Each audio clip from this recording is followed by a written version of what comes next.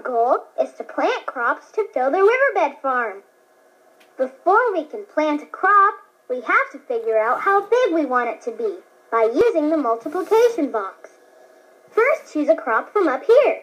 Just click on the crop you want to plant and drag it over to the multiplication box. He'll know just where to take it. To start, drag one of the crops to the multiplication box. Try again. Try again. Pick another. Try again. Try again. Pick another. Try again. Pick another. Pick another. Try again. Pick another. Try again. Pick another. Try again. Try again. Try again.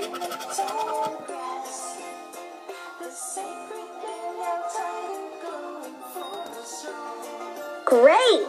You're multiplying.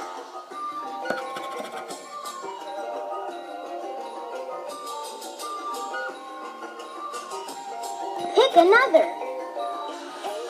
Try again.